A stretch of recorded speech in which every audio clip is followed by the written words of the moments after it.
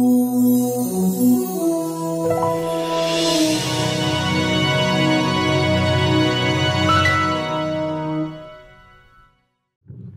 afternoon and welcome, everyone. On behalf of Governor McCrory, Secretary Kluttz, Mayor Al King, City Manager Scott Stevens, and Mayor Pro Tem Chuck Allen, who will be here in just a second, we want to thank you for being here. Where is he?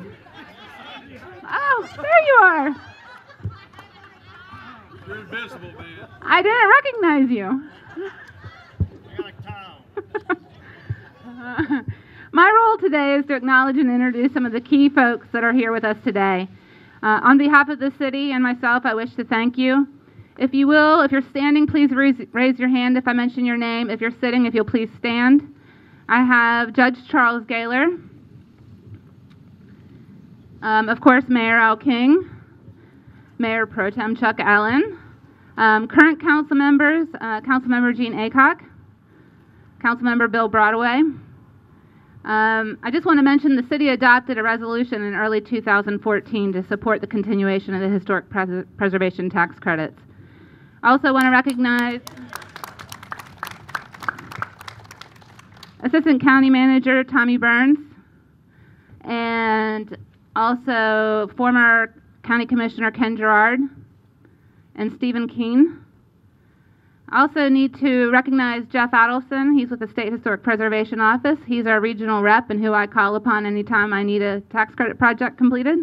And Mike Haney with the Development Alliance.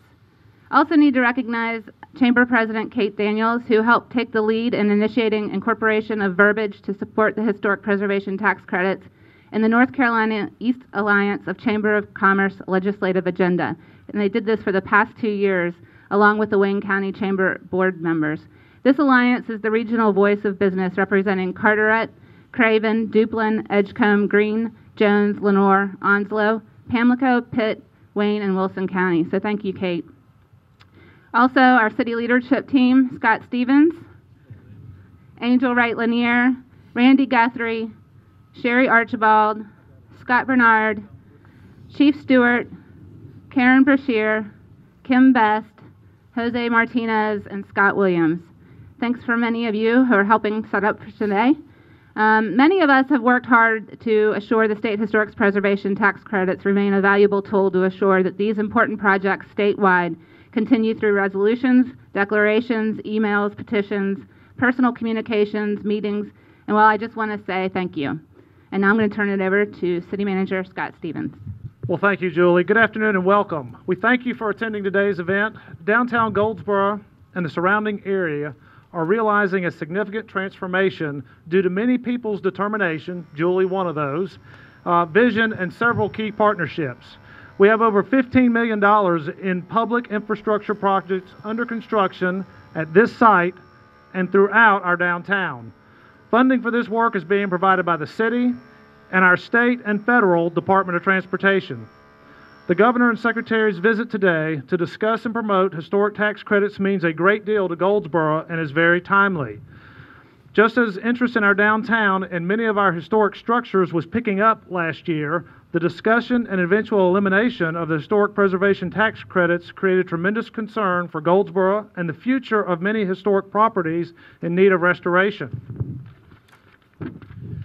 I talked with one developer last year who chose not to renovate five historic structures in this neighborhood for single family use due to the uncertain future of the historic tax credits at that time. His decision not to invest roughly a million dollars in our community and renovate five historic structures was a casualty of the loss of the historic tax credits last year. We have a number of structures, including Union Station behind me, which are potential candidates for historic tax credit projects. Restoring some version of the historic tax credits is very important in helping developers to afford the work that is required to bring our history back to life.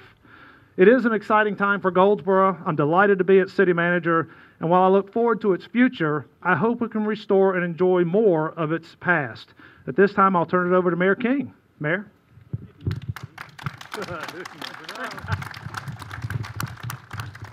Hello, and what a great day it is to have a very special day in our great city. I want to thank you for coming, and I'm sure you will not regret the fact that you're here. I'm also honored to be on the stage with two of North Carolina's top top dogs, and and I know both of them. They're both uh, uh, Metro Mayors, and that's an organization that the two of them helped start. And we have about 25, uh, 27 members now. And uh, the lady I'm supposed to introduce, uh, she needs no introduction. Uh, Susan Kluttz, and we've already told you what she is. She is Secretary, Department of Cultural Resources. Oh, I'm sorry. Culture. We, we need culture in our city.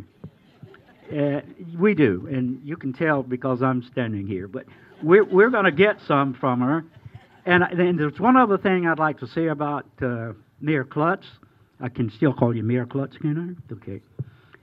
When she was mayor of Salisbury, that's when I heard about her, and that's been a number of years ago.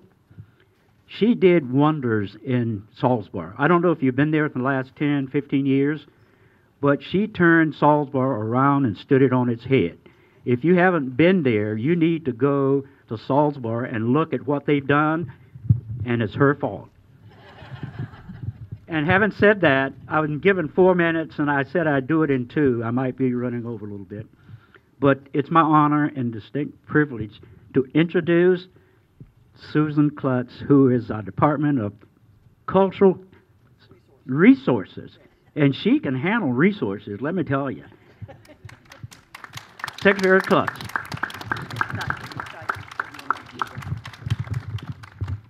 Well, you've got a great mayor. And let me tell you, I know that from working with him for years statewide. He represents you so well, and I know you're so proud of him. And thank you. I appreciate the invitation to be here today. Thank you to him as well as Scott Stevens, Julie Metz, Aaron Ackrey, and Sarah Merritt for all encouraging us to come and be here. I'm traveling today with Carrie Cox, who's sitting on the front row. Carrie, raise your hand, Marketing Director of the Department of Cultural Resources. Jeff Adolphsen, who's al- already been um, introduced from the Preservation Office, a Historic Preservation Specialist. Martha Jenkins, our Legislative Liaison. Matt Weiner, our uh, photographer, and Brian Nestor, our videographer. So we all are here today for a reason. And that reason is we've got a crisis that you need to be, be sure that you're aware of and that you make citizens in Goldsboro and Wayne County aware of as well. The historic preservation tax credits expired at the end of the year, and we have got to get them back. When the governor appointed me as secretary of the Department of Cultural Resources nearly over two years ago, he made it very clear what I was to do. That was to use the Department of Cultural Resources for economic development and job creation. And I know of no better way than I can do that than to promote bringing back these credits. I'm so proud to have a governor that's been a mayor and that understands what these mean to, to cities, to towns, and to the entire state of North Carolina. The facts are that the federal credits came in at the end of the 70s, and then in the 90, late 90s, our state was wise enough to bring them back and piggyback on them for the state credits. Since then, we've seen 90 out of 100 counties use them. Since the late 90s, we have seen $1.67 billion in private investment in the state. But when the governor came into office, he said he felt that it would be difficult to get that get them through the legislature because they were ex- very expensive to the state at that time. So he charged me with working with my department, with the Department of Commerce, to come up with a plan that would reduce the cost to the state by lowering percentages, by putting caps on very large projects, by reducing residential, and by providing more budget predictability. And we came up with a wonderful plan, and I'm plan- pleased to say that that plan was put and introduced into the House uh, by Representative Ross. It passed overwhelmingly the week before last, and I'm very proud of the representatives. Um, including your own Representative John Bell and Representative Larry Bell, who voted for it. And I am very grateful to them and the success we had in the House. But we continue to face now our biggest challenge, which is the Senate, and that's where we need your help. What are we doing about this? First of all, beginning the, right after Christmas, uh, with the governor's instructions, we put together a coalition. There's so many people and so many groups in the state of North Carolina that know how urgent this is. And our coalition includes uh, the state associations of architects, bankers, contractors. We have 10 local chambers of commerce. We have the Association of Downtown Developers. We have economic developers. We have realtors. We have Central Carolina Council of Governments. We have the Association of County Commissioners. We have the North Carolina League of Municipalities, the North Carolina Metropolitan Coalition, and Preservation North Carolina, just to name a few of our coalition members who meet regularly. We have a website, historictaxcredits.org, and we have a petition that people can sign, and we have over 5,000 people who have signed that petition. In addition, I embarked beginning the 1st of January on what I'm doing today, which is an awareness tour. This is my 52nd stop and my 34th city or town that I have visited all over the state to do exactly what I'm doing today. And I call it an awareness tour because I want citizens in this community to be aware of what the tax credits are, to understand the successes that they have created in the city, to understand the potential that is still needed for them.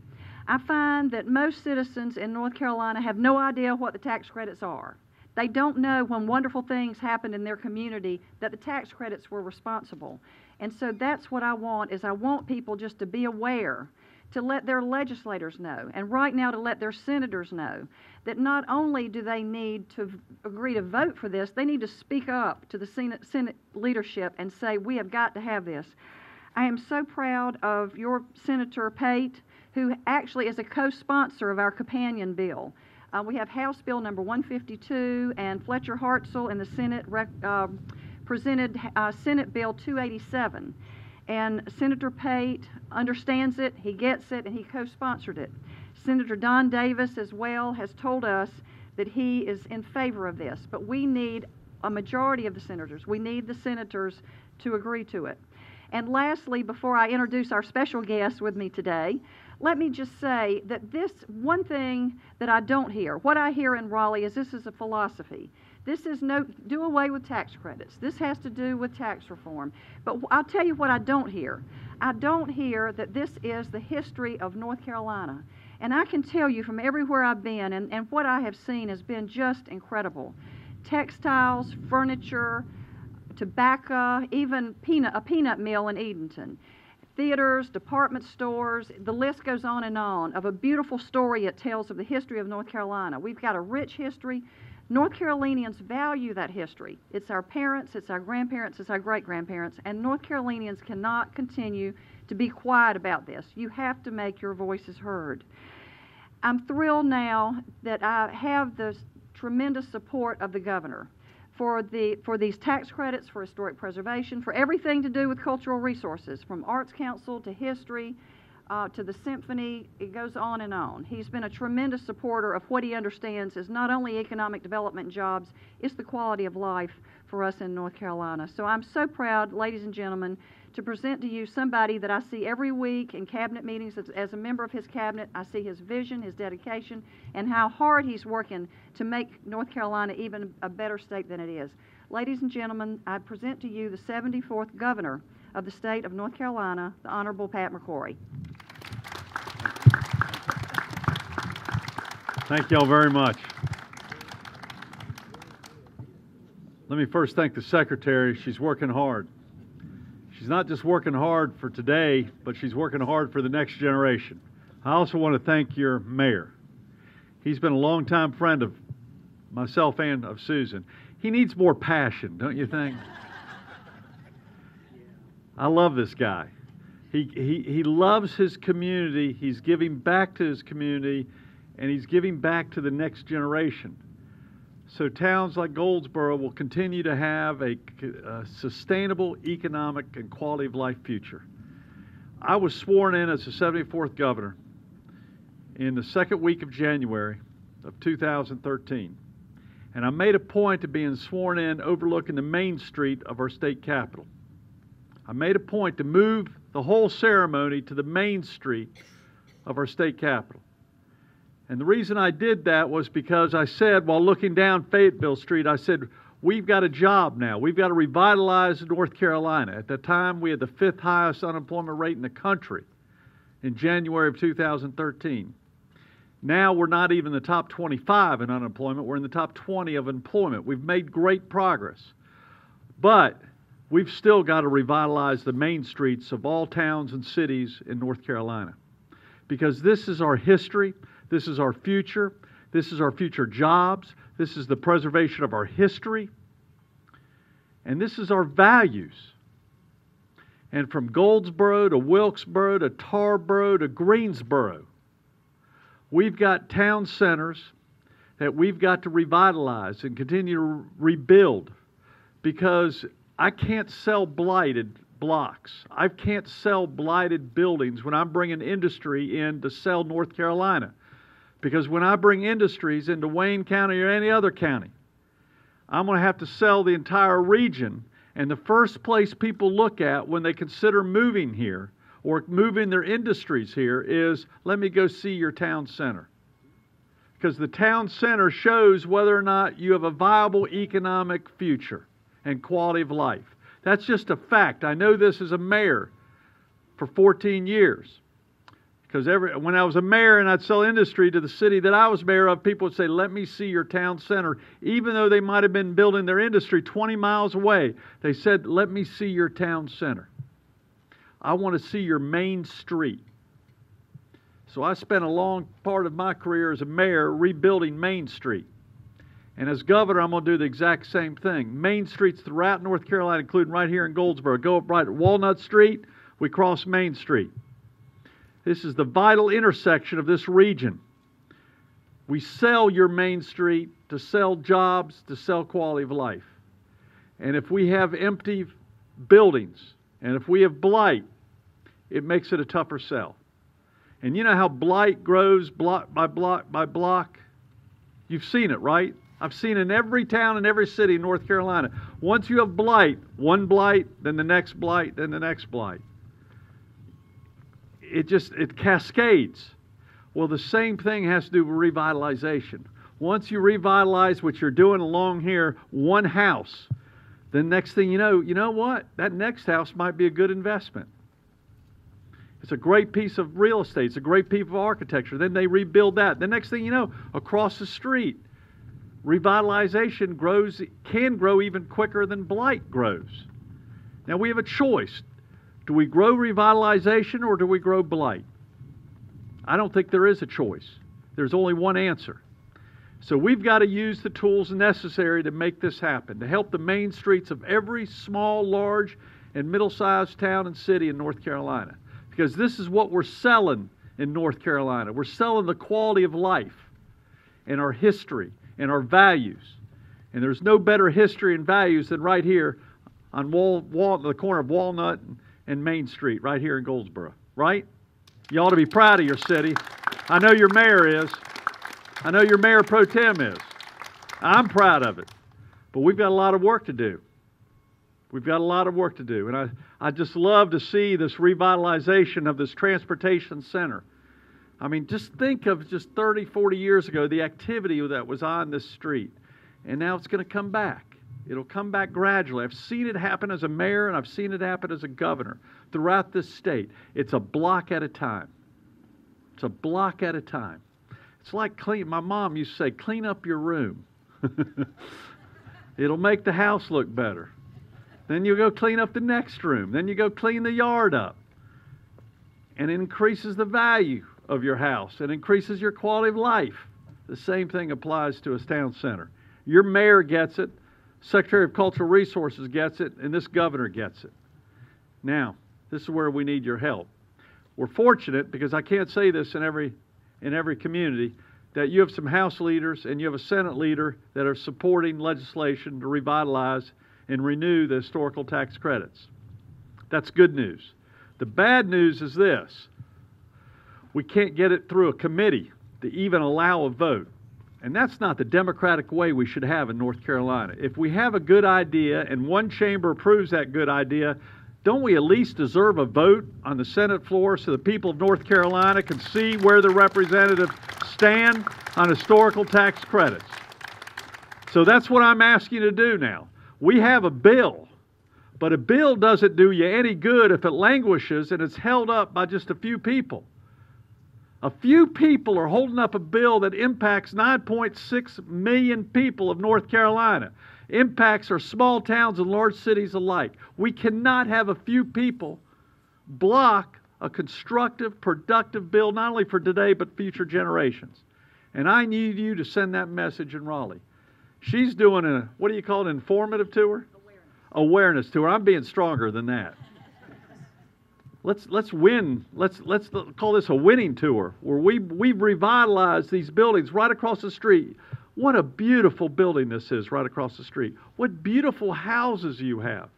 I mean, I always can tell the historical value and the architectural genius of by looking at the tops of buildings. And I look at the top of the building right behind you, and I see this incredible brickwork that was done by just think of the people that built this building across the street look at the value of the design. Look at the design on top of this building. You don't see that anymore. If you rebuild this as you are, if you then rebuild the building across the street, guess what you'll start having? You'll start having travel and tourism too, which is a major crucial part of our economic engine in North Carolina. We have agriculture, we have manufacturing, we have finance. Travel and tourism is as important as any of those. And what we have found out that in small towns and large cities alike, when we see the historical revitalization of buildings, people who drive down the major highways go, let's get off. Let's get off the Exeter, Rocky Mount, or Wilson, or Kinston, and go see their town center. And then let's go buy something and spend some money. Isn't that nice to see? That's what we need to have. But we can't afford to have blighted buildings any longer. The historical tax credit is a concept that was started by President Ronald Reagan. President Ronald Reagan started the concept of encouraging private sector investment, in which we then get a return on that investment within a very short period of time. This is a basic conservative philosophy started by Ronald Reagan. There is no reason why a conservative philosophy of encouraging private sector investment can't get a vote in one of our chambers. There's no reason for it. And I need you to sp- speak your mind. I need you to write letters. I need you to go to Raleigh to make it happen. It's important for the future of Goldsboro. It's important for the future of Wayne County. It's important for this region and for our state. And we're going to keep traveling the state and get this message across because there is a great future right here on Walnut Street. There's a great future on Main Street. There's a great future in these neighborhoods that have seen decline during the past 20 and 30 years. But I see a, I see a bright future. But it's going to take all of us together to make it happen. Thank you, and God bless each one of you, Sarah. Very good. You did good. That's a good man right here. You, you did good. Well, I don't know why I got elected to follow the governor, but all I can say is amen. Amen. I thought he he's better than any Baptist preacher I've ever heard. He's, I'm ready to sign up. But seriously, we, we Goldsboro, Wayne County has benefited from about $5 million worth of these tax credits.